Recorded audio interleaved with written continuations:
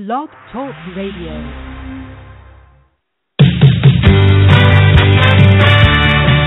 You're listening to Talent Culture's T Chat Radio. The world of work is live now on the radio with Megan M. Biro and Kevin W. Grossman because middle initials count. Come down, turn the radio.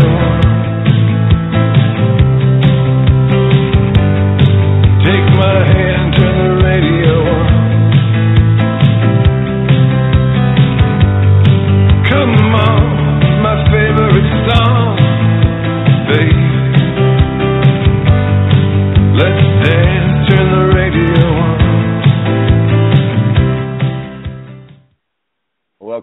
out there in Talent Culture T Chat Show land. It is Wednesday. It is April 22nd.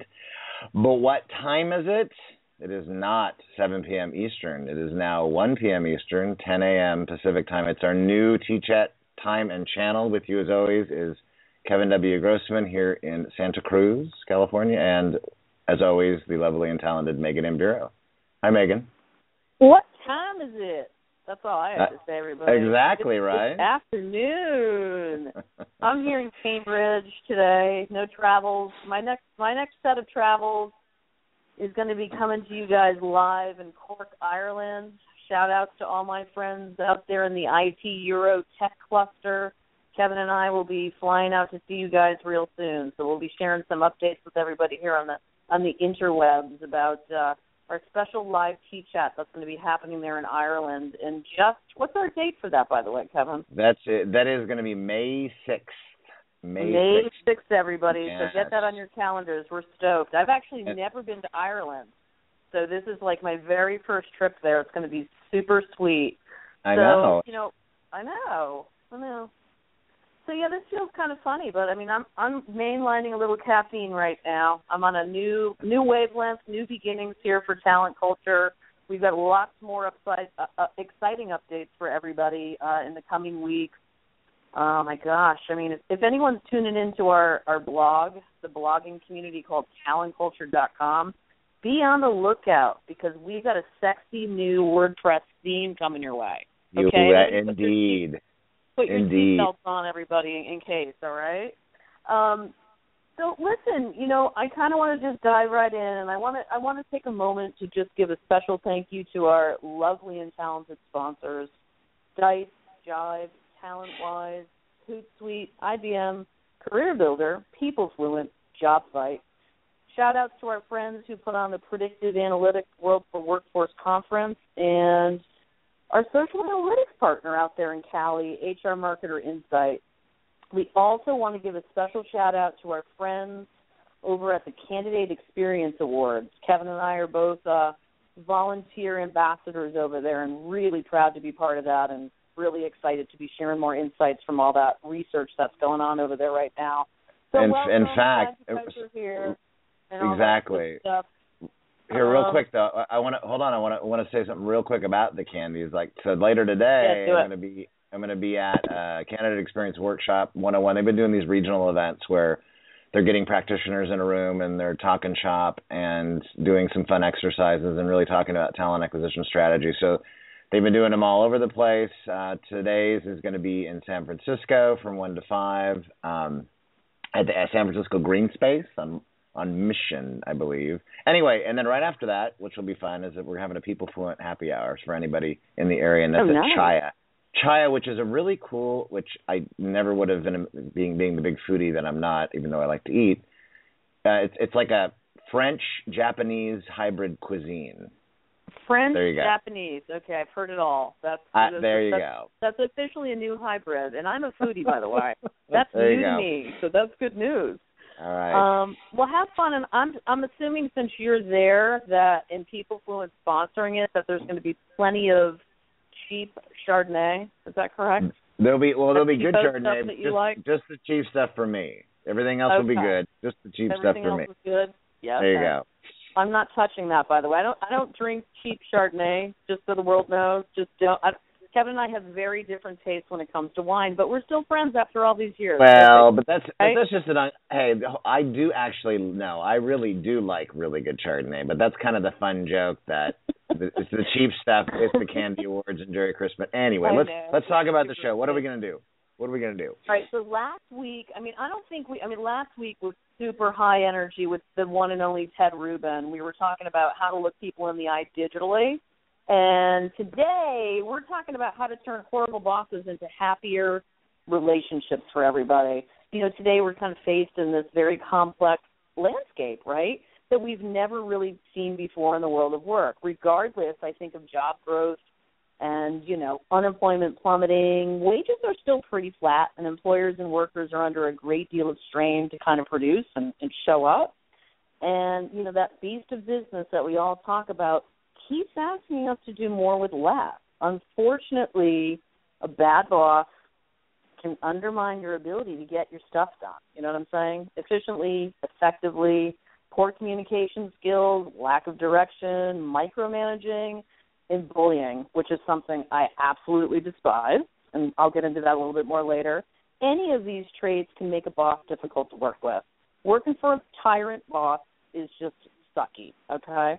So when you have to work for difficult and demanding people every day, that stress, that frustration, that anger can totally wipe the life out of you. So I'm really excited to talk about some techniques today for reinventing relationships with your boss, and heck, you know, I think it's with your colleagues, with you know your, your family. I mean, this just, I mean, just how to not be a sucky person is what we're talking about today, okay? And how to turn um, horrible into happy. So if you're listening today, and we hope you are, tune on in. Um, and we've got the Twitters going on right now with T Chat. Come be part of it. Thanks for being here. Yeah, exactly. And again, just really excited about our new time going forward. Um, we want to welcome today Tony Deblauwe. He is the founder of consulting firm HR4Change. And for over a decade, Tony's worked with Silicon Valley companies in various roles related to building people strategies. He's also an award winning author and mobile app developer. He has been quoted in several media sources, including Career Builder Monster and CBS Money Watch. Welcome, Tony, to our new Time and T Chat show. Thanks, Kevin. Hey, Megan, how's it going? Good. It's going. So It's glad going. you're here with us today. Yes, it's um, it's an overcast day in Silicon Valley, which is unusual, but um, you know, I guess we're we're, we're getting used get, getting used to that. Uh, Kevin, you know about that. It's probably gray and overcast where you are Well, too. Well, yeah, we're getting it's tons of high fog. At least there's some moisture in the air, Tony, because that's about all the the rain we're going to be getting uh, of late. So there's if there's something that's soaking into the ground in the plants, so we can just be thankful about that, right? Why don't you, Tony? Why don't you tell us um, first a little bit about more about yourself and what led you to talk about this topic we're talking about today? Sure, absolutely. So, um, you know, my background is, you know, I've had, you know, over a decade of experience um, working in human resources, organizational leadership development, uh, primarily in high-tech companies um, in Silicon Valley. And that's run the gamut from startup to mid-size, large companies. Um, and so I've been able to be exposed to quite a lot of different environments and uh, you know a lot of different organizational dynamics and behaviors.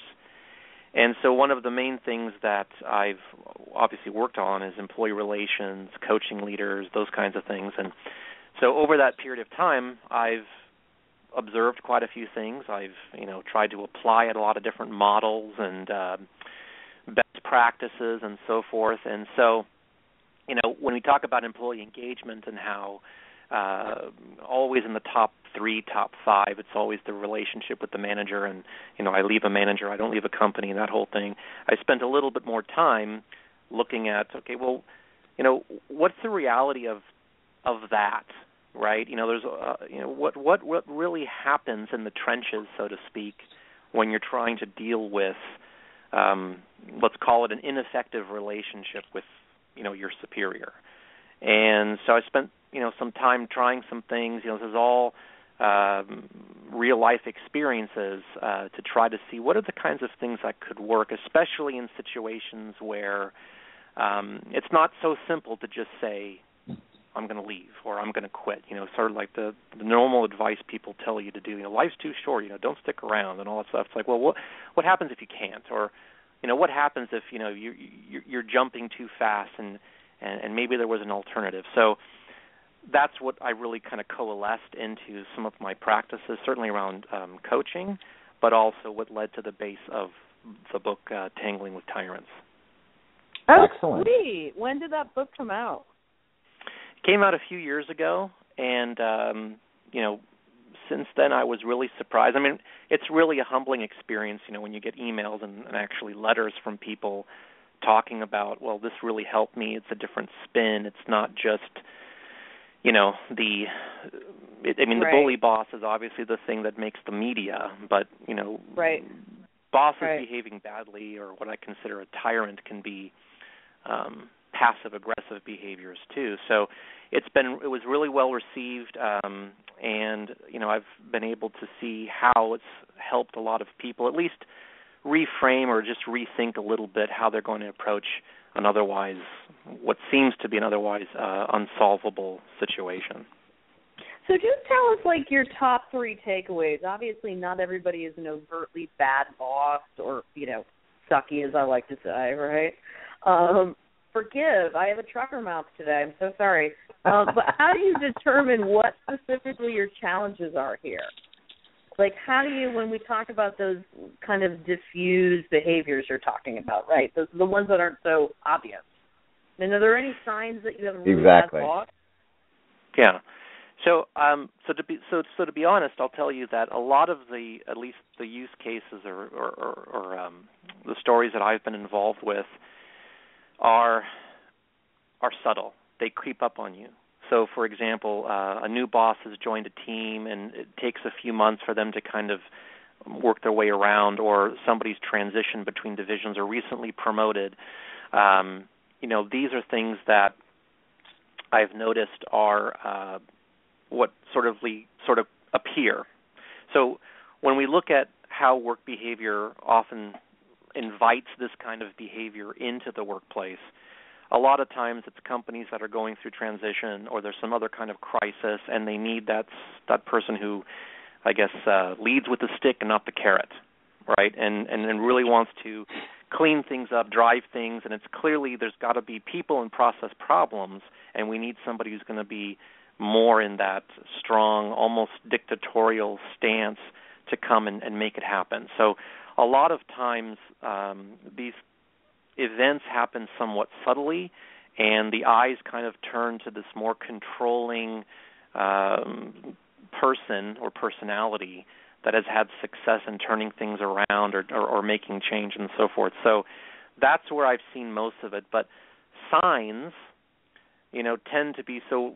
Regardless of how this is happening suddenly over time or whatever, it's true. You're always looking for patterns, like everything else. And I tell I tell people in HR, you know, what gets people into trouble is the patterns of things that happen that then turn into a you know major problem like harassment and and so forth. Right, Um, right. That never really get brought to the surface, right? Right, exactly. Because people have different levels of what they're willing to bear, right? So so you know, I I I look at it as people who tend to be more along the sort of I should worry red flags coming up is a lot of not seeking to understand or seeking to listen. So if I'm if I'm a new boss in an environment in a team environment where I don't know what's going on, I'm trying to, you know, figure out what's happening, there's a choice and there's something I would look for is if the person's coming in and saying, "Here's what I'm going to do."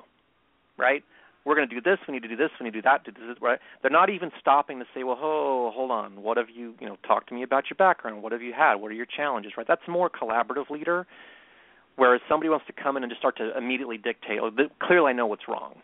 Right? So we're going to go do this. A lot of I statements, I will and you know, so that's to me that's a first that's a first dead giveaway, right? That this person's probably going to be less willing to have that partnership to fix a problem and more I am the cowboy, I am the knight on the horse riding in and I'm going to save the day and be the hero.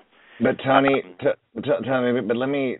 How you're you're talking about a lot of how do I the, of the different patterns and behaviors to look for, but how should one go about that's in, immersed in this? How should they go about documenting this, right? Because that's really you you do need to do some level of that, especially to prevent an escalation that that may occur down the road, right? So, and how do you do that in Yeah. a way that's that protects yourself as well as the organization? Yeah, I think let's start with the individual level. Yeah. Because again, again, to me, it's you know certainly as an HR person, it it's fairly simplistic. You know, document.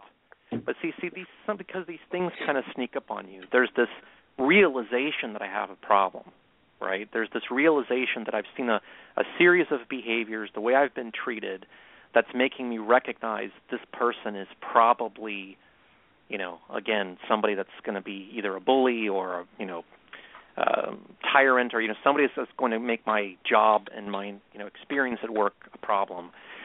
I think that um, you know before you jump to documentation of of these behaviors, you have to take this step back and take a look at it like what exactly am I seeing that's happening that's harmful to me, that's impeding my you know emotional well-being, my productivity, you know these kinds of things. Because if you don't have a focus on what exactly is being impacted by the behavior you're being exposed to, then it's really difficult to have the proper documentation, right?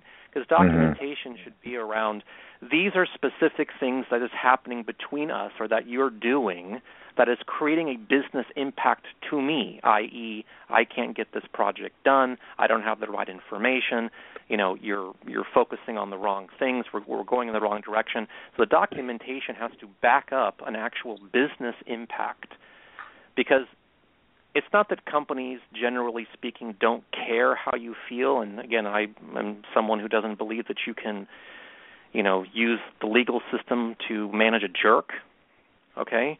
Um it's more a just jerk. yeah because a lot of people you know in HR as soon as they have a problem they run to HR oh you got to fire this guy. Oh you got to do this guy. It's like well hold on a second okay? In business you may be having this issue but what is it impacting you know business wise. I care about your emotional thing. That's a whole engagement and retention thing on its own. But the documentation that matters, the documentation that will get people not just in HR but up the chain to pay attention is that as a result of this behavior, these things aren't happening with myself, with the team and so forth. So that's how I would just sort of characterize the documentation. It has to be specific things that are leading to specific business impacts for it to have any real weight Right. and then of course you layer it with the emotional stuff, right? Because it becomes a retention thing. But it starts with the business impact. It's not what happened with uh, just real quick, and then we move to other related topics, but with one of the Kevin, Kevin, you're Uh, breaking up. You're breaking up. uh, oh, so so here, tell me, so the case Silicon recently with how um, so just Hey, Kevin, we can't quite hear you. You're kind of coming in and out. So I'm going to hop on in here for you and ask the question that I think is probably on a lot of people's minds right now. When is quitting an option for employees? And like, what what do you recommend to people when they're like, I just I just can't deal anymore. This boss is just horrific. Like, what what do you Right. do? You know? Yeah, and and again, I, I can tell you, I've seen all all shades of that. Right, I've seen how that behavior can lead to burnout, to work to workplace depression, which are two very distinct things, by the way. Um, Can you tell us just how they distinct? Because that that's, Yeah, so- that's an interesting nuance. Yeah. So so burnout tends to be the behavior you see around burnout is that they blame everybody else. Oh, it's the manager, they don't know this. Oh, the company doesn't know what they're doing. Oh, my team sucks. That's more I've come to the edge of I'm overwhelmed with my job and I'm trying to find blame as to why this is this is occurring. Workplace depression tends to show behavior that is more um I'm just not good enough for this anymore. You know, it doesn't it doesn't really matter what I'm doing it doesn't it, it's more that internal reflective I, i'm taking it all and i don't feel worthy and i don't feel whatever so the nonverbals that go with that you know John, burnout tends to be more animated because it's it's outward to others and then the depression is more inward and you tend to see people more unwilling to speak shying away a lot of absenteeism you know so that's where i kind of look at you know you know the both sides and i've seen like i said i've seen one single bad leader, bad boss drive different people down those paths. And um, you know, it, it, it's funny when we talk about um, how do we deal with that, right? And when quitting isn't an option. Um, Because it's not for so It- many people. I mean, I think that's an honest take. no, no. Right. It, it, it is. It's true. Um, um, you know, in in most of the cases that I've had, there's a variety of reasons what drives that. Um, interestingly, in Silicon Valley, a lot of times it's their it's tied to their visa. They're tied to the company. Right. Right. Right. So they can't leave. Right. So they they're they're stuck, or things like they have a 401k loan. That's a huge loan. They can't leave because they have to pay it back if they leave the company. So you can go through a litany of reasons why it's not just oh I have a bad boss I have to leave right, right. and I think that you know what I try to talk about certainly in my coaching and I talk about in the book is getting back to this idea of you know if you put the emotion aside for a second yes nobody should be treated this way if somebody's bullying you or again I think passive aggressive is actually worse because those are behaviors that tend to be um, you know, they have conversations behind your back about how you're not a good performer, and then they smile nicely to your face, or you know, innuendo comments like uh, that is just such a deal breaker for culture. No, absolutely, and um, so it's it's important. Back, back can you hear me? Can you? We can kind of hear you, but you're just barely. You're still choppy. You're still a little so, choppy over so, there, Santa So for the so much for the Skype. Okay, so there you go. um, now? Can you hear now? No, you're kind of you're in and out, my friend. You know, let's we, we can keep Megan's trying gonna though. on the show. Yeah, there there you go. I think I think it's time.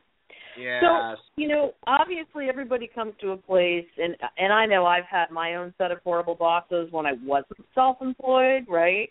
Um, who hasn't probably, and everybody's version of what a horrible boss is is so probably varies quite a bit, bit if we actually did some data around it. But right. what what's going on in your world with your career, Tony? I mean, have you had a horrible boss before? And oh you know, yes. So, did that lead you to kind of what you've been focusing on in your consulting practice? Tell us just a little bit more on on the personal yes. side of Tony. Yeah, absolutely. So when I was starting, you know, when I started, I, mean, I was one of those. I fell into HR, which you know I'm sure a lot of people in your audience will have similar stories. They didn't start in HR; they fell into HR. And I, um, I hear that. Yep. Yeah, so I, I fell into HR by way of recruiting, and yeah, um, I was I was when I when I was still an active practitioner, um, and you know I, I've moved away from that. I was I was a recruiter as well. That's kind of where I where I started in this whole talent management space. So and and Yeah. those were when we were still actually saying HR and recruiting are the same under the same umbrella. And now there's like you know nine flavors. of oh, they're the anyway, same. Yeah. Yeah, that's that, that can be a whole nother talent show, a talent culture show. That's because, a whole exactly. You know, this whole idea that uh, we need to distinguish recruiting. It's like, guys, it's still HR. Okay, it's a what I- specialization with HR. Let's leave it at that. So, um, I- but yeah, yeah, so I had a bad experience. I was doing recruiting. I was a generalist, and um, I had my first big opportunity with VP Global Division. You know, big deal, and I was all excited. And I did all my pre-work. I did their org charts. I looked at their comp. I, and I wanted to really make a first good first impression because one of my early jobs in HR. And I'll never forget the scene. I walked in and it's so classic, right? Big desk, big, you know, mahogany desk, big high back chair, and this guy, you know, um sitting was on the phone. We had a scheduled appointment, you know, a whole thing. And I walked in the door. He didn't get off the phone. He just kind of looked at me and pointed to a chair that was in front of this big desk. Oh my so, god. No problem. Yeah, no problem. I came in. Yeah, I sat down. I was all ready to go, and you know, he's still on the phone as I'm Oh sitting down. no. And then I hear he's like, "Yeah, I'll meet you at four, or or I'll meet you at three, and we'll you know we'll tee off and we'll do it." So it was a personal call. Okay. So okay, fine. Uh, that was that actually lasted another uh, three minutes. That he was doing this personal call. So fine. Afterwards, so he hung up the phone. Didn't shake it. Didn't get so high. You know, welcome, whatever. He folded his hands, and he looked at me and he said, "I just want you to know that um, I make the decisions around here. I decide Oh, who I no. hire, who I fire, and what goes on, and nobody from HR is going to tell me what to do otherwise." Nice. And that was that was how he introduced himself. Sweet. Wow. Like, I know. Really So- a, a great opportunity for me to to really shine. Yeah, absolutely. So here I was all prepared, and again, he wasn't my he was my sort of my dotted line manager. So I mean, I was still reporting to HR, but basically he could influence my performance review, my bonus plan, everything else, because that's how this company was structured. And so I, I I sat there dumbfounded and and and so I started to uh, kind of open my mouth and try to recover from the situation and his phone rang. And he picked it up and he started you know talking like yeah yeah okay. He turned to me and he basically said you know kind of pointed at the phone and then waved. That was the end of the meeting pointed at the phone and waved yeah are you serious this just Yeah. sounds like a movie script. Seriously, Wow. like this is just too horrific you should write Yeah. to that out. Like Tony. that's just ridiculous. That's ridiculous. Oh yeah, no, I talk I talk about that in the book because you know as I was walking out the door, you could imagine so many things were crashing in my head. Did I pick the right profession? Did you know why did I choose to work here? So all these things were happening to me, and I definitely think that that gave me a base into the work that I did, you know, since then. You know, and Right. trying to understand when somebody comes to me who's clearly in pain, not just angry, but in pain, hopeless, right? Feeling like I don't know what else to do. I, I, I, you know, like I said, I, it, it really helped to solidify that emotional compassion connection to say, yeah, I am not just this, you know, whatever view you have of HR, and people have all these different views, right? I've, I'm not an administrative HR guy. I've always come from the business side. So for me, I've always taken, well, what does it mean to have somebody emotionally crippled working under this roof?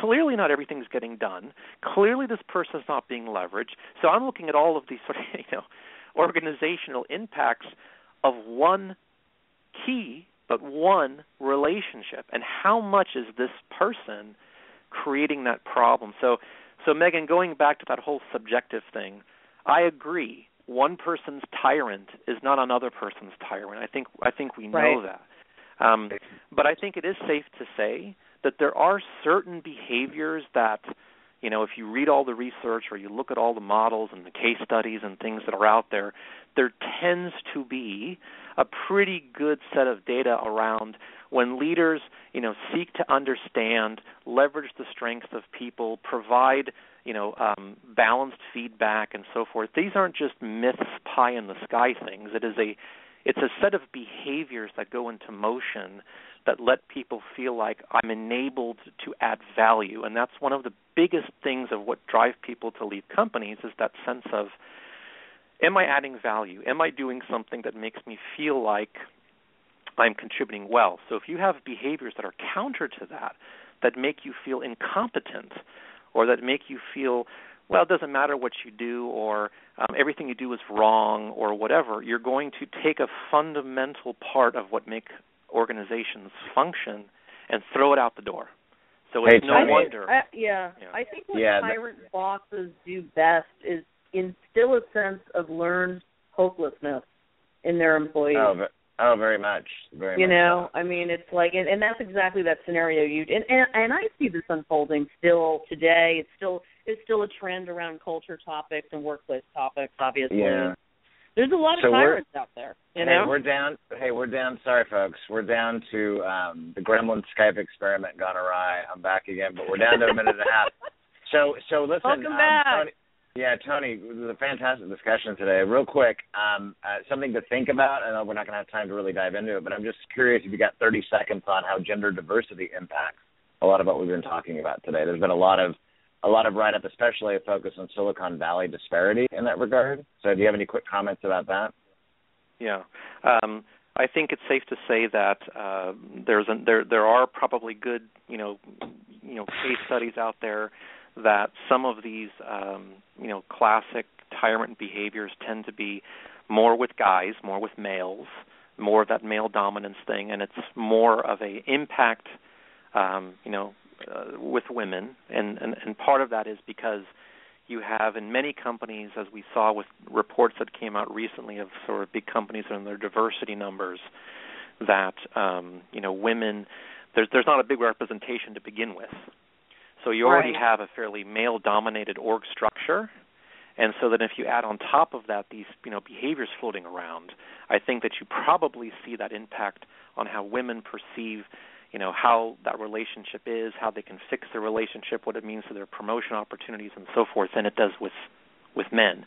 Now that said, there is a small group of research that's starting to emerge about women oriented tyrants and you know do they do they show similar behaviors do they do they enact ways you know in, in similar ways because they obviously they exist but oh, i think that there's absolutely. fewer of them Yeah. and um the Yeah. only other one point I would I want to add to sort of the, either the gender and just the topic in general about you know when do I know I've kind of absolutely come to a person where you know I'm I'm I'm I'm trying to address it. I feel like I've looked myself in the mirror. I'm doing the right things. I'm business focused and all these other things in terms of my conversation with this person. I would say about 5% of this what you want to call sort of generic population of you know bad bosses bullies tyrants whatever are true sociopaths. And if you get Wow. into a sociopath, right, like a Dexter level sociopath, we could do a whole other show about that, Tony. Yeah, nother show um, that. those are ones where you're you're, you're going to hit a dead end no matter what you do. I mean, it's it's, it's right, a right. whole different ball game. Well, we're out of time. We ran. We already ran out, but I, I didn't want to finish stop you because I loved how we ended that. But now we got to jump to the Twitter chat. So, are you ready to go, Tony, to come fire up with the the community on Twitter? Oh yes, I've been seeing it coming through already. Absolutely. Nice. Well, thanks So so much ju- for being here, Tony. We we appreciate it, and you're definitely um, somebody I'm excited to meet in person one of these days. So Absolutely. thanks everybody for, for All right. tuning in. Talk to you later. Thank. Okay. Thank Twitter you. chat time.